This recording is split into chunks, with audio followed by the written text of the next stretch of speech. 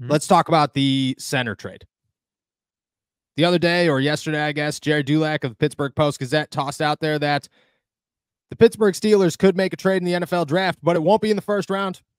It'll only be in the second round, and they'll go from 51 to however far up they need to go to go get a center. And that would be the only way that they did it. If the Steelers said, hey, look it, we didn't get our guy in the first round, so let's go get him in the second round, and we're no longer waiting. And to be totally honest, I could see that happening, and that's the only way that I see the Pittsburgh Steelers trading up in this NFL draft is if they do not select a center in the first round, but they still need a center in the second round. The Steelers, in my eyes, are getting a starting center in the NFL draft. There are no questions to it. It's going to happen. You could try to talk yourself out of it or try to talk yourself into Nate Herbig or try to talk yourself into Connor Williams or whoever. Chances are they're going to get a center in the NFL draft and he's going to be their starter and they're not going to miss out on it. Luckily, guys like Graham Barton, Jackson Powers Johnson, Sedrick Van Pran, and uh, Zach Frazier are all kind of falling as we sit here right now. So you could look at it and say this is working out very well for the Pittsburgh Steelers. I'm not ruling out that they draft a center in the first round. I mean, I put out my mock draft on Tuesday and I have Graham Barton going to pick 20, and I feel really good about Graham Barton going to pick 20. I saw yesterday from Daniel Jeremiah that uh, Amarius Mims might fall to the second round. Things are going to shake out so differently over the next two weeks that we don't know how the draft board is exactly going to look. But I'm going to tell you that Graham Barton's value is going to remain there. So is guys like Zach Frazier and Jackson Powers Johnson, but it's all going to remain right on that 20 to maybe the 15th pick in the second round area.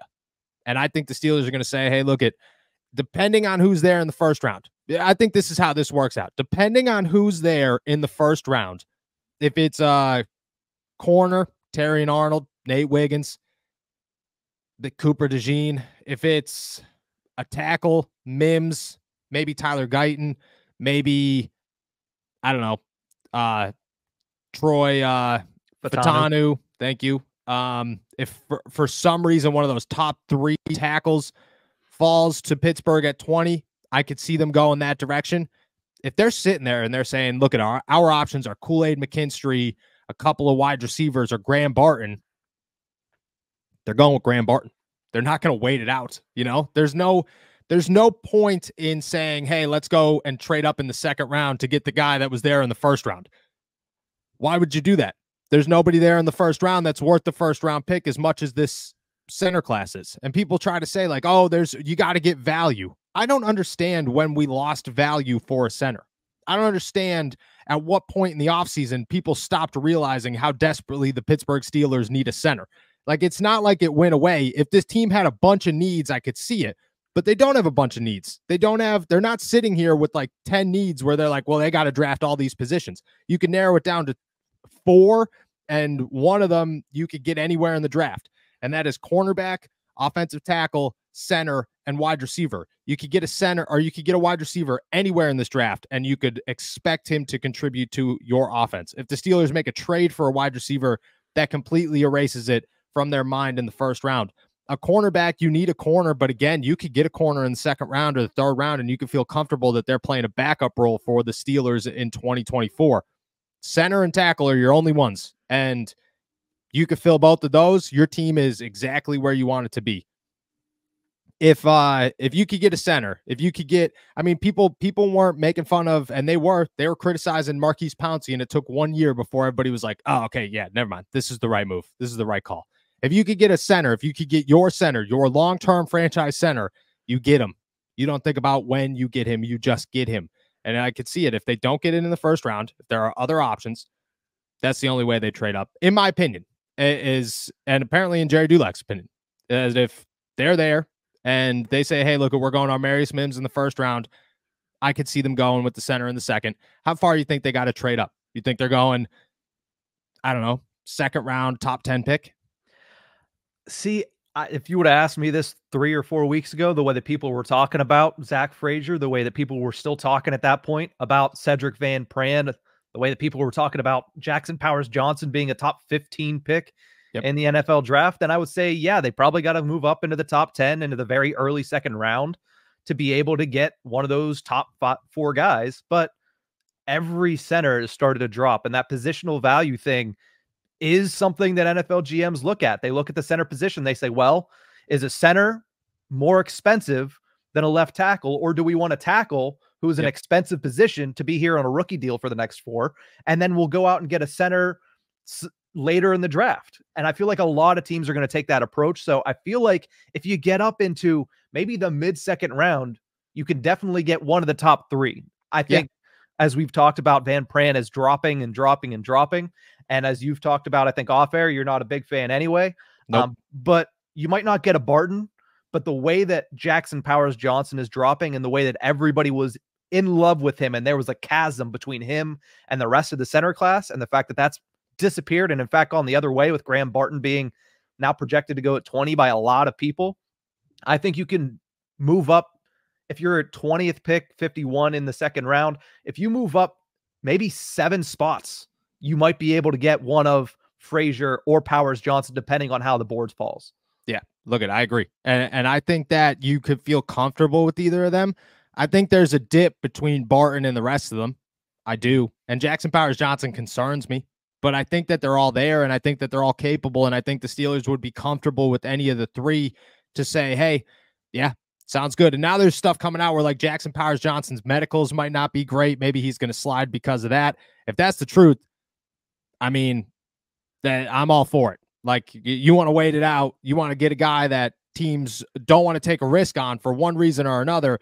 And you did your own medicals on him. You brought him in for a pre a pre-draft visit and you feel really good about it. Whatever. Who cares? Who cares? I look at that all the time. People, there's always these reports of, oh, this guy's got medical issues. This guy's got medical issues. Your doctors tell you exactly what's wrong with these guys your doctors uh, checked them out and said your medical staff knows exactly how long they're going to last in the NFL and exactly how long their body's going to hold up and they're going to give you a detailed report. And if you feel confident that you just got a guy, no issues, go get a guy. That, you know, and I think that helps their case. But I could see mid second round definitely depending on how quickly Barton goes. If mm-hmm. Barton goes immediately after the Steelers, but before the end of the first round, I think you got to make a move a little bit earlier.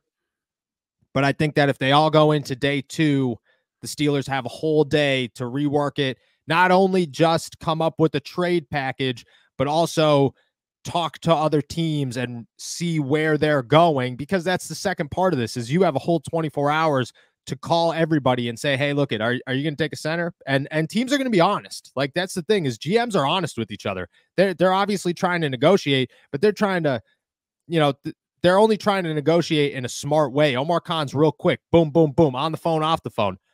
They just want to know, hey, look, how how far up do we have to go to go get a center? And even if that team's not going to tell them, the teams around them are going to tell them. The teams in their division are going to tell them. They're going to have the insight to know who who is a threat to taking their options.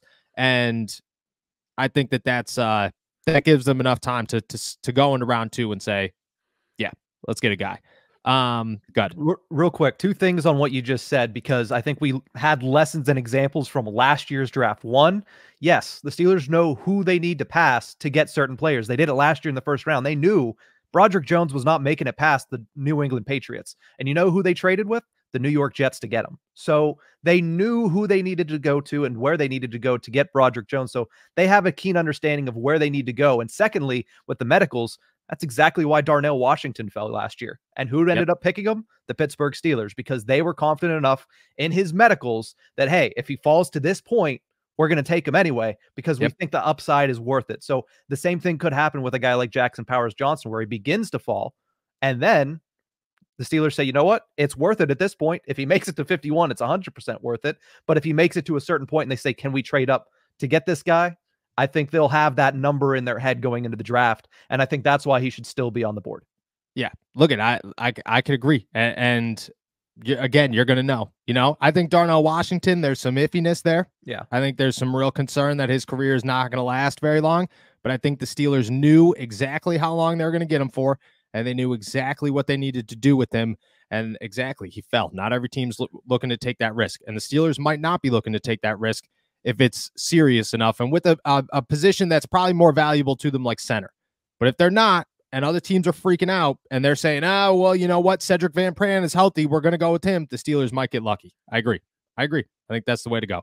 Um, all right, there is a center question here before we dive into the rest of these questions here. Mm-hmm. We do. We have. Oh, sorry. Go ahead. No, you're good.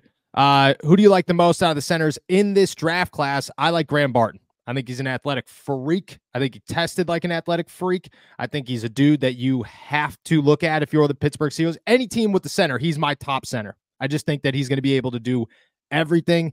He's got versatility, which I think always helps, just in case, you know, he's not the starter in year one. He could be your guy. Um, but I love, love, love Graham Barton in this draft class. And then there was another one here mm-hmm. I saw about Zach Frazier Yep. and the pros and cons. Yeah. We got this one from William. He says, In your point of view, what are the pros and cons of Zach Frazier being drafted by the Pittsburgh Steelers?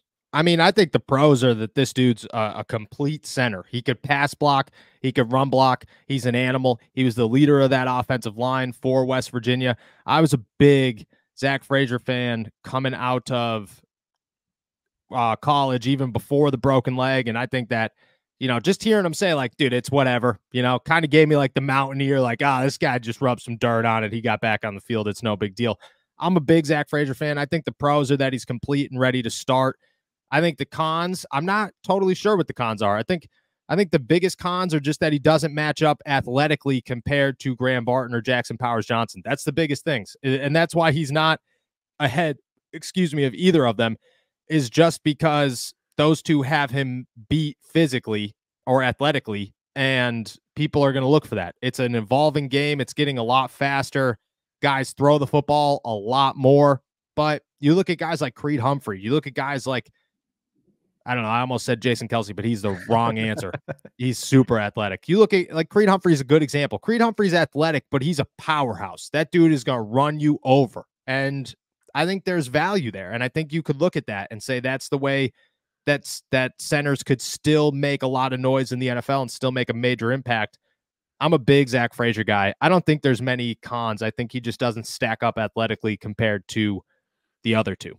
We did have one more center question before we go back into the wide receiver questions because we got a whole handful of those. Uh, Dyron's House says, Why is Sedrick Van Pran not the number one center? I just don't get it. The, look at it's just everything. It's across the board. And I think Sedrick Van Pran is going to get drafted and I think he's going to get an opportunity. And maybe I'm wrong.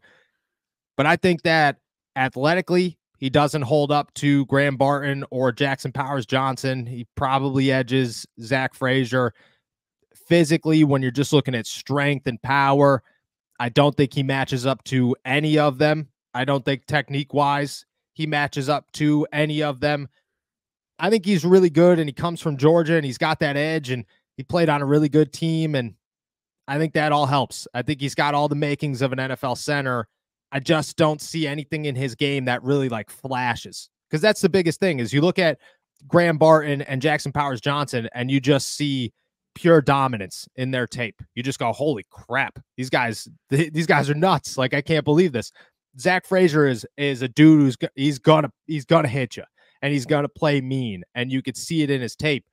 Van Pran is a dude who, I mean, you just you see his tape and you say that's a good center, but that's it. You just say that's a good center. There's nothing that explodes that says this is the dude. You got to stick with the dude. I think just in a normal center class, he's much higher on the board. In this year's center class, he's fourth, and I think that's where he fits.